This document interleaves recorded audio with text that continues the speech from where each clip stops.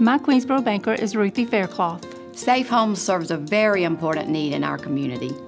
She is passionate about her customers.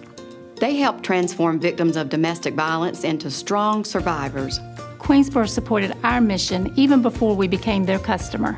No one deserves to be abused. Queensborough Bank is a dedicated friend. Thank you, Amy. And here's their hotline number.